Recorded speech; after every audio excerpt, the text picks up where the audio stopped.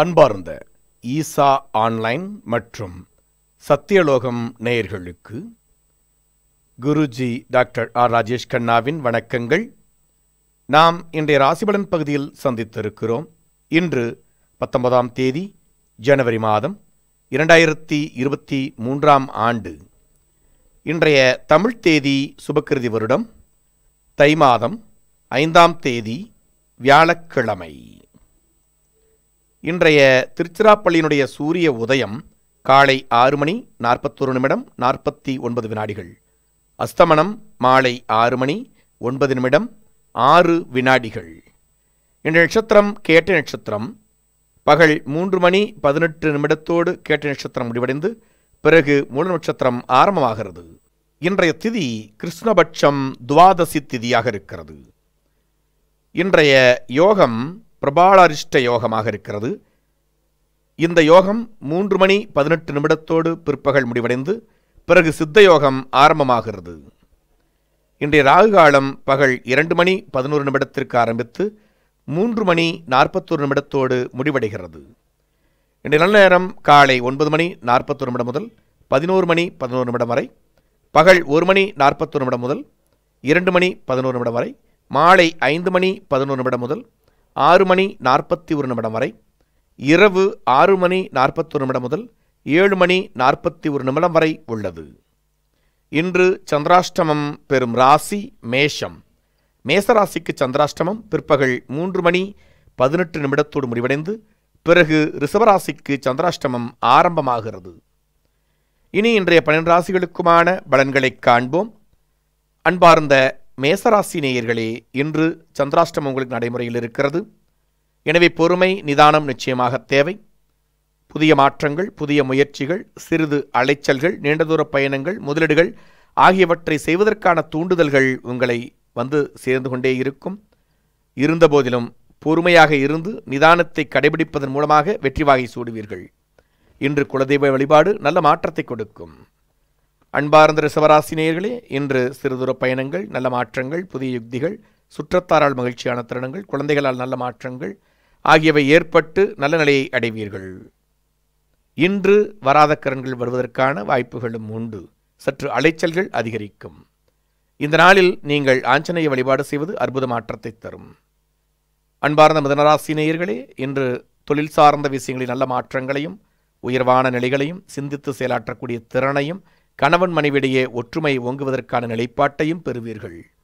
நல்ல ஆரோக்கியம் மேம்படுவதற்கான நாளாக இந்த நாள் அமைந்திருக்கிறது.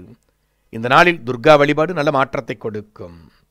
அன்பார்ந்த கடகராசி நேயர்களே இன்று தேவையற்ற குழப்பங்கள் மாற்றங்கள் அலைச்சல்கள் மற்றவர் நம்புவதால் ஏற்படக்கூடிய பின்னடைவுகள் ஆகியவற்றை சந்திப்பீர்கள். வாக்குவாதத்தில் ஈடுபடாமல் இருப்பது நல்ல மாற்றத்தை கொடுக்கும். இந்த நாளில் புதிய முதல்களை தவிர்ப்பதும் நல்ல நிலையை ஏற்படுத்தி கொடுக்கும். இந்த நாளில் நீங்கள் குரு பகவானை வழிபாடு செய்வது நல்ல மாற்றத்தை கொடுக்கும். அன்பார்ந்த சிம்மராசி நேயர்களே இன்று இறை அனுகிரகத்தாலே நல்ல மாற்றங்கள் எண்ணிய காரியமெல்லாம் இடேறுதல் பொருளாதார முன்னேற்றங்கள் குழந்தைகளால் மேன்மை குடும்பத்தில் ஒற்றுமை ஓங்குதல் ஆகியவை ஏற்படும்.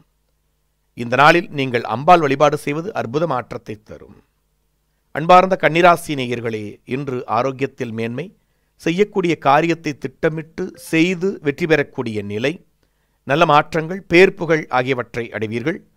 இந்த நாளில் நீங்கள் நல்ல மாற்றத்தை பெற ஆஞ்சநேய வழிபாடு நிச்சயம் உதவும்.